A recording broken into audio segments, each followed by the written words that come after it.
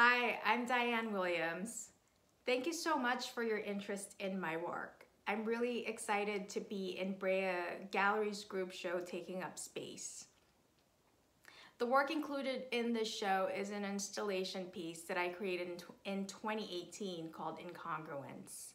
It is reminiscent of roadside memorials and protest signs that operate as obstructions, confinements, and disruptions. The installation consists of several woven modular pieces made out of cultural detritus, such as yarn, fabric, plastic, and shredded paintings. These materials have personal history to me. They are sourced from a lot of different places, but usually from friends and family and um, salvage from my immigrant neighborhood.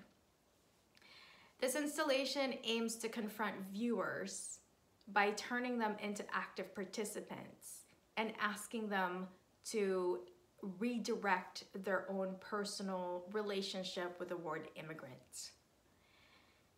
Incongruence reflects immigrant communities as well as the whole nation at large, illustrating this idea of an extended community. I really wanted to create an installation as a space for contemplation, but also as well as a strategy for reclaiming agency. So thank you again for stopping by, and I really hope that you enjoy the show today.